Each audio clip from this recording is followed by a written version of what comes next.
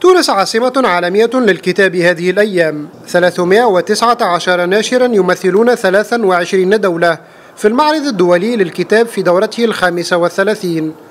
المغرب حافظ على حضور مميز كما وكيفا. المشاركة المغربية دائما كتكون متميزة بحجم الإصدارات الثقافية الجديدة اللي بطبيعة الحال كتعرف جميع الميادين ديال المعرفة. عدد العناوين كاين تقريبا 450 عنوان جديد ديال هذه السنة هذه وبالنسبة لدور النشر المشاركة بشكل فعلي كاين خمسة ديال دور النشر. وعندنا مجموعة العناوين جديدة اللي فقط 30 عنوان هذه السنة. ومختلف لأن إحنا ما كان ما عندناش اتجاه معين من ناحية النشر. عندنا جميع الاتجاهات الفلسفة التاريخ.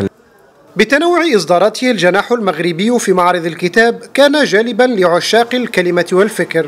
المغرب عندها إسهامات مهمة في صياغة العقل العربي والعديد من الإنتاجات المغربية مهمة بالنسبة إلينا لمتابعة آه، تطور العقل العربي. سواء كان في في التجارب السابقة والتجارب الحديثة.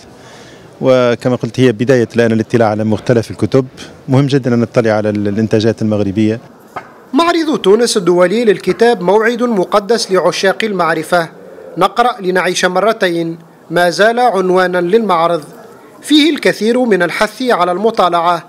لذلك أعلن رئيس الحكومة يوسف الشاهد في افتتاح المعرض إجراء في محاولة لتشجيع المطالعة.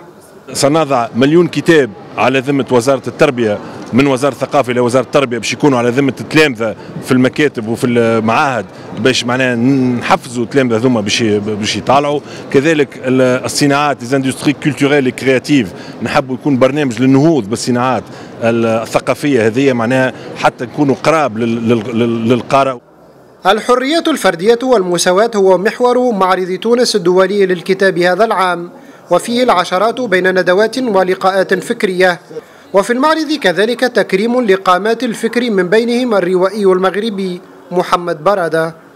هل انحسر الكتاب في زاوية أمام الغزو الرقمي معرض تونس الدولي للكتاب؟ يقول لا هو فك للحصار وإعادة مكانة لخير جليس في الزمان. فتح الفلحي قناة Medi1 TV تونس.